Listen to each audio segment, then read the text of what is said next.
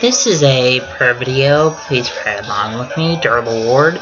In the power of your almightiness, please help my sister Sarah McCluskey. She has ADHD, psychosis, bipolar, and autism. Also, please help my grandmother. She has MS and can't walk good.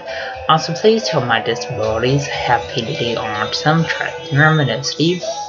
Also, just like to know please show me signs that you exist. Also, please show me signs that my pappy still exists. Also, please show me signs that my dog Sassy still exists. Amen. Please subscribe, and comment.